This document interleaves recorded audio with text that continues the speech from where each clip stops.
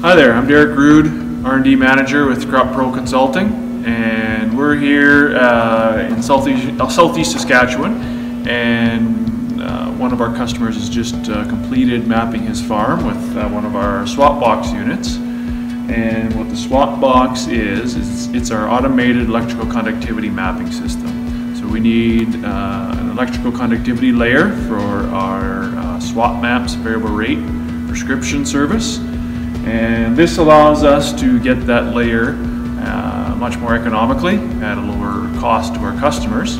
Um, since normally we're doing this with trucks and uh, driving trucks through the field, which is a higher cost um, way of collecting that data. Now we are actually mounting to uh, our customers' equipment, such as uh, air drills in this case, at the, we're at the back of a liquid cart.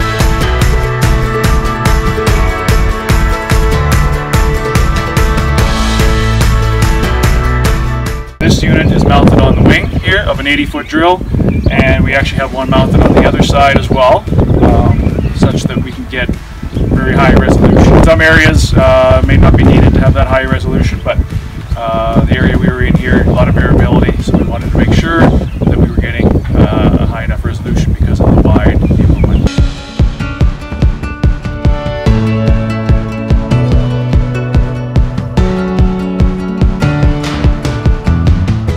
This here is the electronics box that powers the sensor as well as logs all of the electrical conductivity data.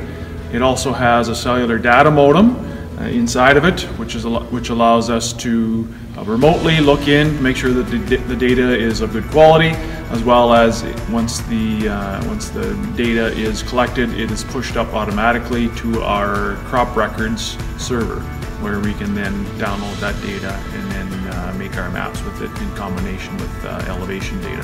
So that's the electronics box and all we need to power it is uh, 12 volts from the tractor or whatever vehicle is, uh, is powering uh, the, the implement. So that is SWAT BOX and um, yeah, stay tuned if you're interested in uh, getting your farm mapped for SWAT MAPS. Um, you can certainly mount one of these to the back of your equipment and uh, get the electrical conductivity layer, layer that way. Thanks.